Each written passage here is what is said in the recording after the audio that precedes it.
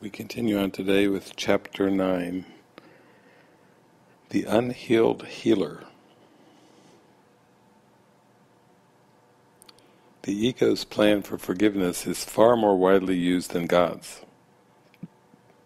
This is because it is undertaken by unhealed healers and is therefore of the ego.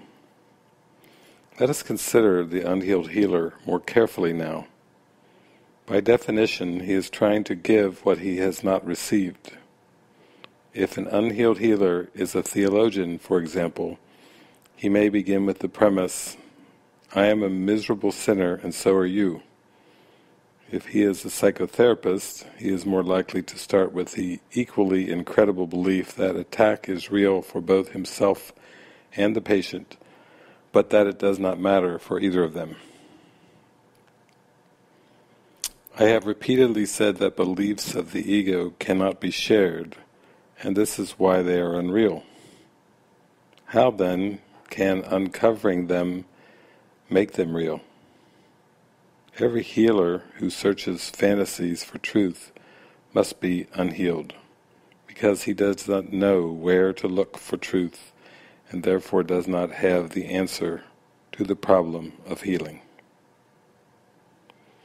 There is an advantage to bringing nightmares into awareness, but only to teach that they are not real and that anything they contain is meaningless. The unhealed healer cannot do this because he does not believe it. All unhealed healers follow the ego's plan for forgiveness in one form or another. If they are theologians, they are likely to condemn themselves, teach condemnation, and advocate a fearful solution. Projecting condemnation onto God, they make him appear retaliative and fear his retribution. What they have done is merely to identify with the ego and by perceiving what it does, condemn themselves because of this confusion. It is understandable that there have been revolts against this concept but to revolt against it is still to believe in it. Some newer forms of the ego's plan are as unhelpful as the older ones, because form does not matter and the content has not changed. In one of the newer forms, for example, a psychotherapist may interpret the ego's symbols in a nightmare and then use them to prove that the nightmare is real. Having made it real, he then attempts to dispel its effects by depreciating the importance of the dreamer. This would be a healing approach if the dreamer were also identified as unreal. Yet if the dreamer is equated with the mind, the mind's corrective power through the Holy Spirit is denied. This is a contradiction even in the ego's terms, and one which it usually notes even in its confusion. If the way to counteract fear is to reduce the importance of the mind, how can this build ego strength? Such evident inconsistencies account for why no one has really explained what happens in psychotherapy. Nothing really does. Nothing real has happened to the unhealed healer, and he must learn from his own teaching. His ego will always seek to get something from the situation, the unhealed healer therefore does not know how to give, and consequently cannot share. He cannot correct because he is not working correctively. He believes that it is up to him to teach the patient what is real, although he does not know it himself. What then should happen? When God said, let there be light, there was light. Can you find light by analyzing the darkness, as the psychotherapist does, or like the theologian, by acknowledging darkness in yourself and looking for a distant light to remove it?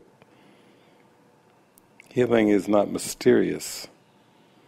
Nothing will change unless it is understood, since light is understanding. A quote, miserable sinner cannot be healed without magic, nor can an unimportant mind esteem itself without magic.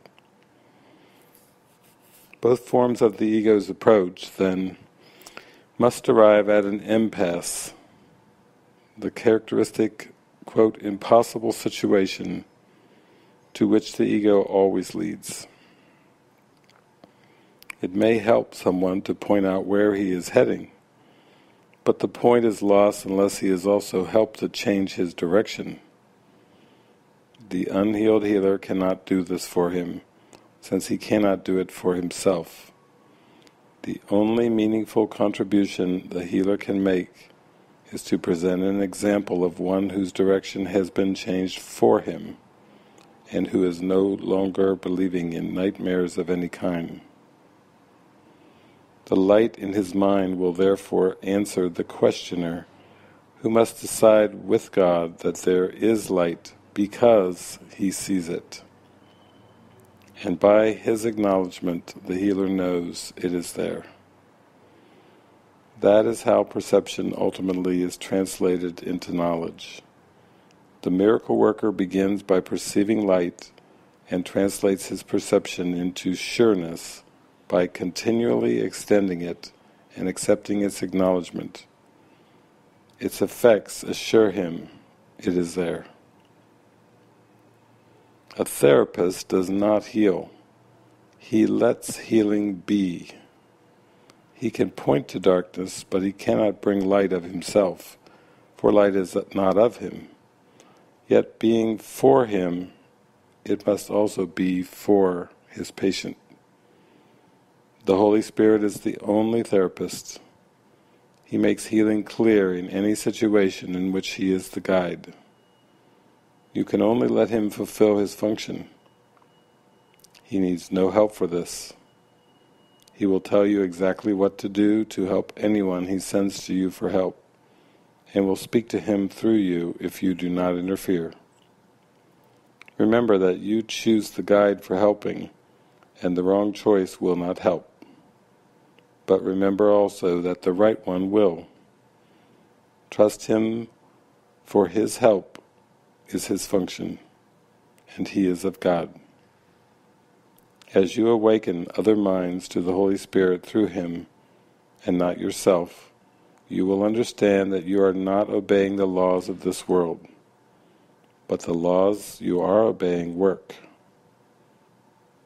The good is what works, is a sound, though insufficient statement. Only the good can work. Nothing else works at all. This course offers a very direct and very simple learning situation and provides the guide who tells you what to do. If you do it, you will see that it works.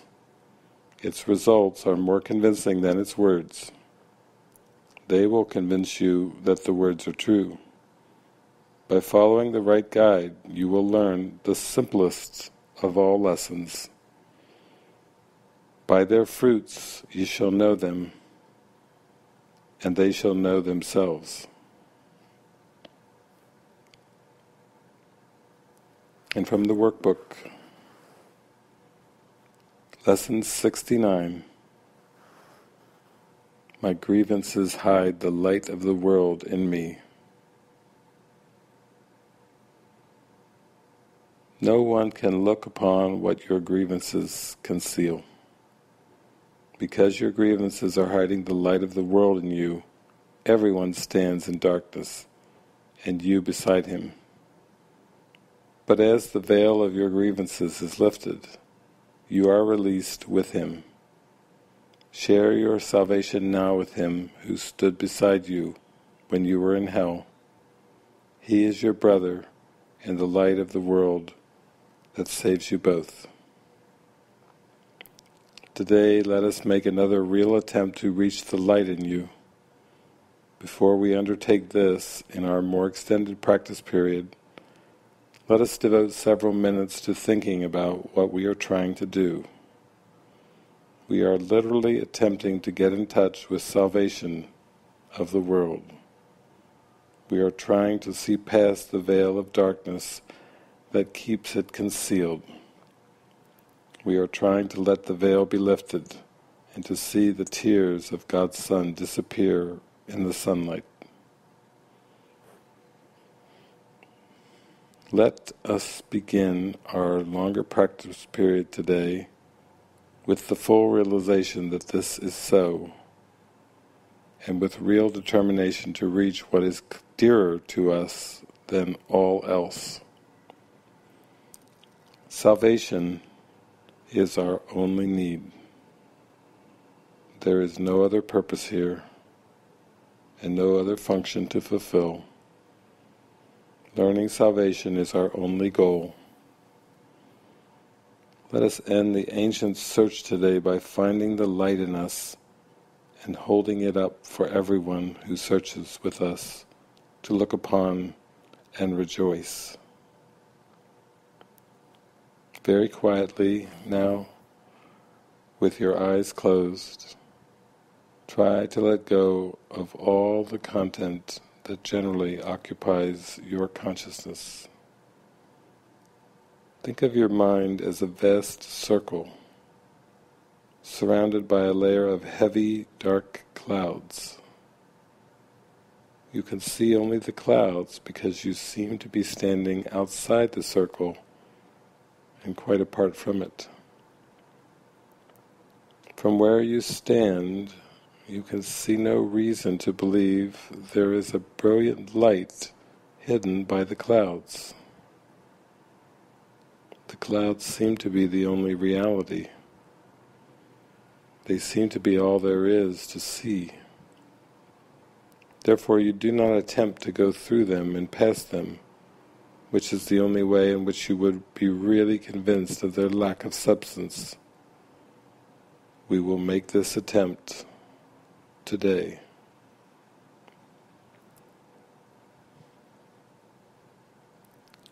After you have thought about the importance of what you are trying to do for yourself and the world, try to settle down in perfect stillness, remembering only how much you want to reach the light in you today, now. Determined to go past the clouds. Reach out and touch them in your mind. Brush them aside with your hand. Feel them resting on your cheeks and forehead and eyelids as you go through them. Go on. Clouds cannot stop you. If you are doing the exercises properly, you will begin to feel a sense of being lifted up and carried ahead.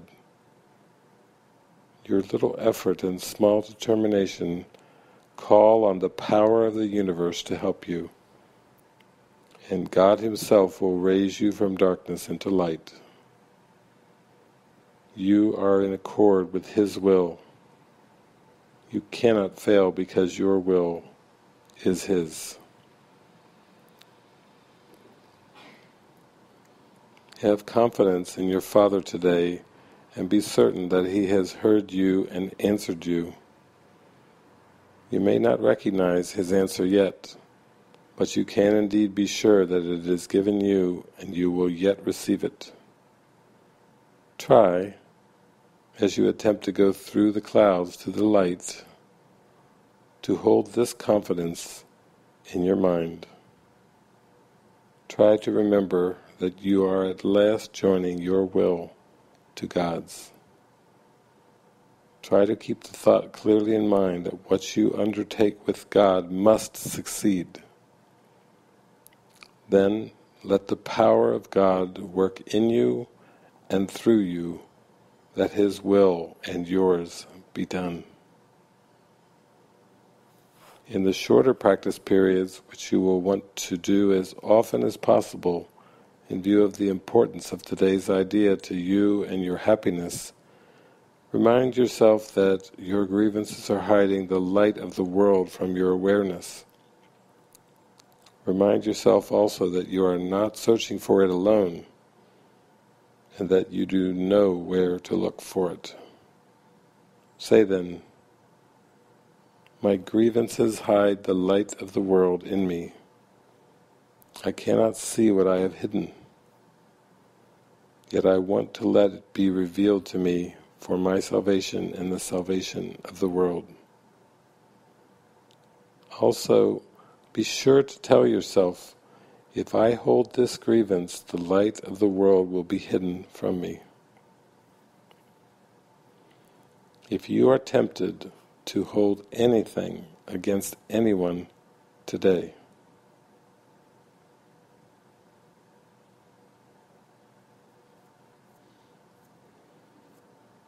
My grievances hide the light of the world in me.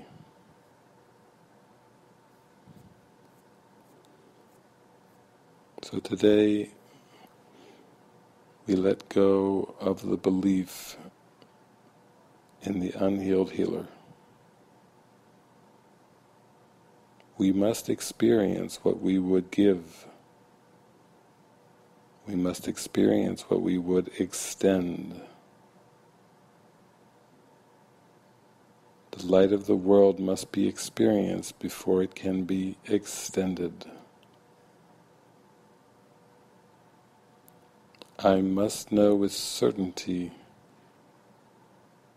the mind that is in me to extend this gift. There is no other way. All forms of the unhealed healer are, are the belief that error is possible. These are the forms of the belief that darkness is real, that error is real, that evil is real. And this is not true. Today I accept the truth about myself, that I may bless and heal and comfort. I have no other function today or ever. I have no other purpose or meaning. I cannot share unreal beliefs. I can only share the thoughts of God. Today I join with the Holy Spirit I look past all substitutes for healing and open to the light that is in me, that moves through me, that I may realize that I am the light.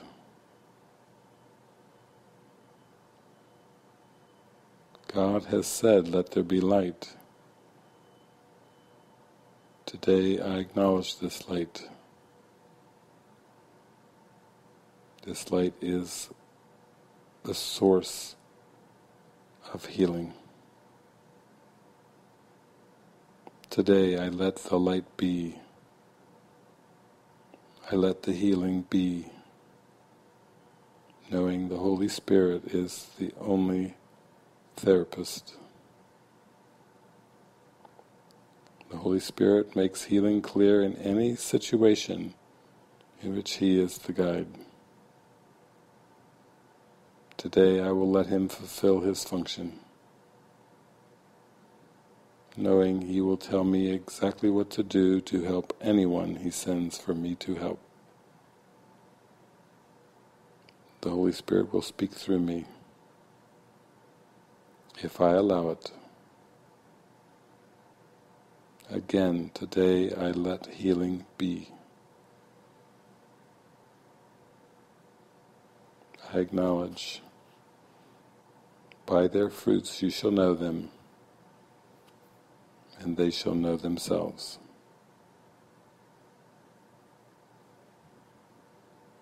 Sink down to reach the light within.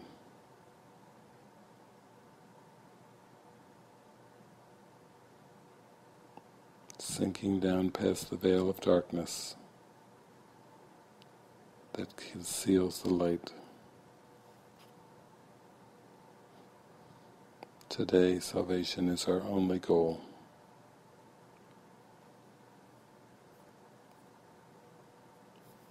my grievances hide the light of the world in me.